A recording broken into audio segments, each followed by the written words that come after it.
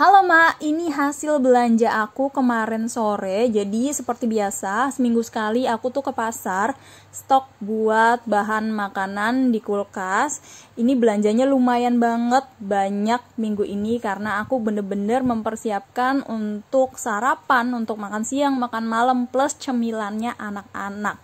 Plus bikin frozen food untuk stok di freezer juga buat suami dan anak-anak pastinya. Lengkap banget, mulai dari pisang sampai tape, sampai daun pisang aku beli semuanya. Untuk proteinnya minggu ini agak beda karena aku coba beli frozen seafood. Jadi aku beli gurita, ini bentuknya seafood. Harganya itu murah banget, cuma 11 ribuan aja. Ini cuma sekitar 3 on beku Kemudian aku beli ikan cakalang juga. Ini frozen juga sama harga jauh lebih murah. Ini timbangannya tuh 8 on. Ini harganya cuma 21.000. Jauh lebih murah dibanding beli ikan fresh ya. Ini rencananya aku mau bikin pampis cakalang sama mau dibuat panada. Kemudian aku beli dada ayam. Jadi aku beli dadanya aja 1 kilo.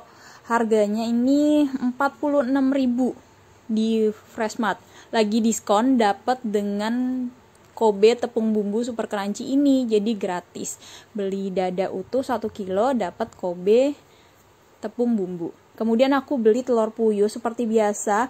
Ini aku rebus dulu langsung aku rebus nggak usah dikupas pokoknya kita tiriskan kering langsung simpan di kulkas. Ini harganya 8000 seperempat kilo. Kemudian aku beli tahu putih seperti biasa tapi ini agak aku tambah karena mau bikin tahu tek rencananya. Jadi aku beli 15 piece ini 9000 kalau untuk tahu ini aku beli memang selalu banyak jadi aku lebihin karena bisa buat macem-macem ya. Bisa diapa-apain aja kalau mendesak.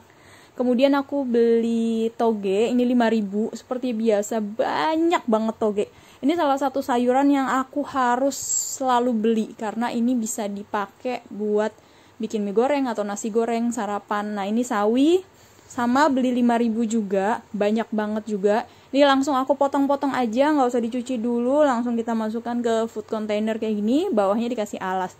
Tadi untuk yang toge juga sama ya, langsung aja, nggak usah dicuci dulu. Kemudian aku beli jagung, ini beli 5000 dapat 2 biji gede-gede gini jagung manis ya. Ini rencana mau aku masak bareng sama guritanya, jadi model seafood gitu.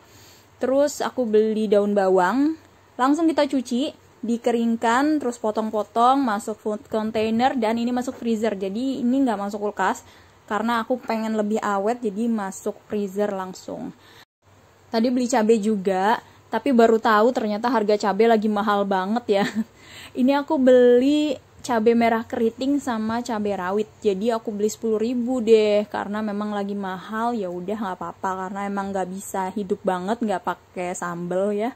Jadi aku langsung masukin food container kayak gini terus di bawahnya dikasih alas kertas seperti biasa terus tangkainya kita buang tapi nggak usah dicuci dulu. Terus kita kasih bawang putih ya 3 biji atau 4 biji kayak gini. Ini untuk sebagai pengawet alami ya bawang putih biar gak cepet busuk. Terus aku beli gula merah juga. Ini seperti biasa aku beli banyak selalu gula merah. Ini setengah kilo. Harganya 8000 ini biasa buat minuman sih. Terus aku beli kacang tanah. Ini yang belum dikupas ya harganya 6000 per seperempat kilo. Ini mau bikin tahu tek nanti dimasukin food container aja simpan di suhu ruang ya seperti biasa. Beli jahe juga 5000 tadi dapat tiga besar-besar gini. Ini aku simpan di suhu ruang aja seperti biasa. Biasa aku buat minuman kalau pagi-pagi minum anget-anget biar badan fit terus. Terus aku beli kentang juga setengah kilo 6.500 harganya lebih murah dari biasanya. Biasanya kan 8.000 setengah kilo. Karena memang lebih kecil-kecil biasa buat cemilan anak-anak. Kemudian aku beli tomat. Nah ini aku beli banyak banget tomatnya.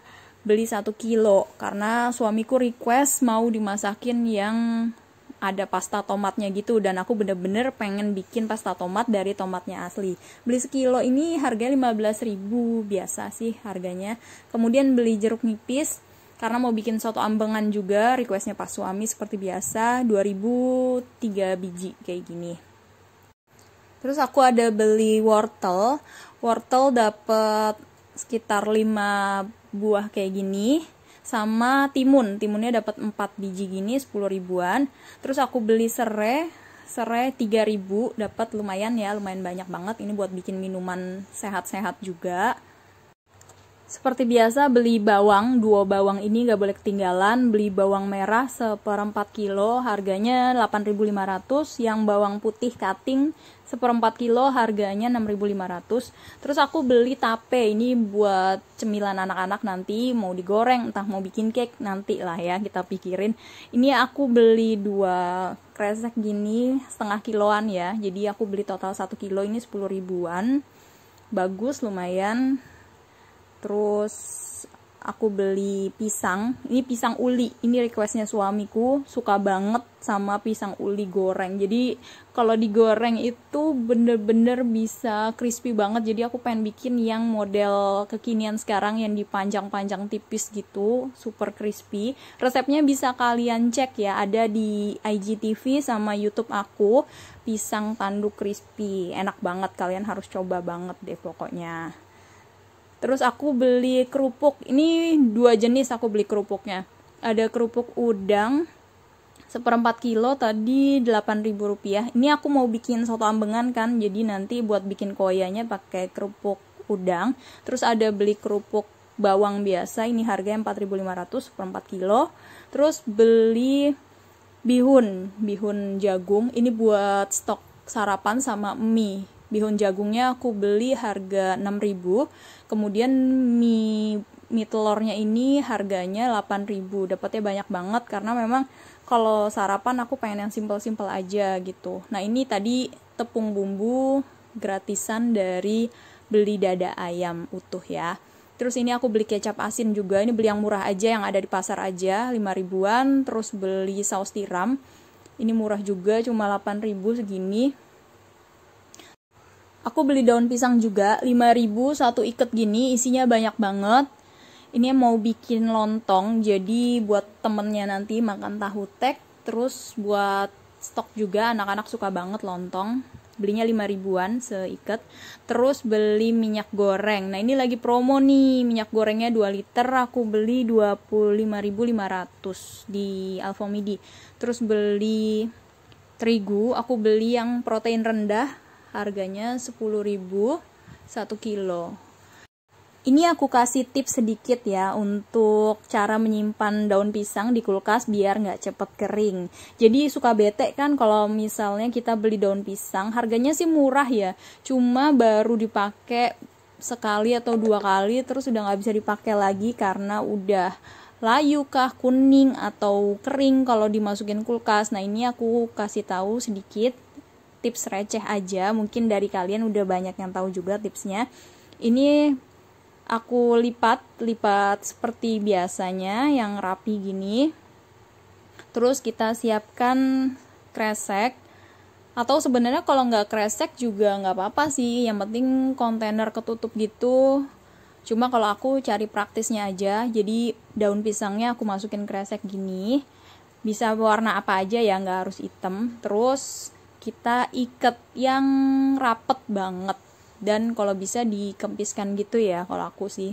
Jadi biar nggak menu-menuin tempat juga di kulkas. Udah diikat gini langsung masuk kulkas bawah aja. Biasanya aku taruhnya di tempat sayur yang paling bawah sendiri di kulkas gitu udah taruh aja gitu. Ini aku sudah buktikan ya berapa tahun ini cara menyimpan daun pisang di kulkas dan awet banget bisa sampai seminggu lebih. Ini aku ada sisaan dari daun pisang yang beli minggu lalu aku beli daun pisang juga. Ini udah tujuh hari ya totalnya disimpan di kulkas dan masih fresh banget warnanya hijau kayak gini masih bagus banget ada sedikit yang warnanya agak kuning sedikit sekali. Tapi sebagian besar masih bagus banget masih layak pakai banget masih hijau. Ini nih yang kuning sedikit kayak gini.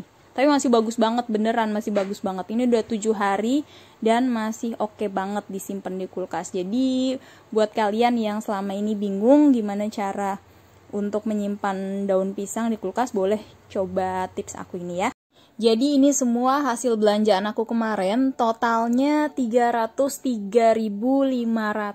lumayan murah ya untuk keperluan satu minggu sudah lengkap untuk sarapan, untuk makan siang, makan malam, dan untuk cemilan anak-anak juga. Belanja sebanyak ini untuk kebutuhan satu minggu ya, jadi untuk dua dewasa dan dua anak. Anak-anak umur lima setengah dan umur 2 tahun untuk area Tanjung Priok, Jakarta Utara.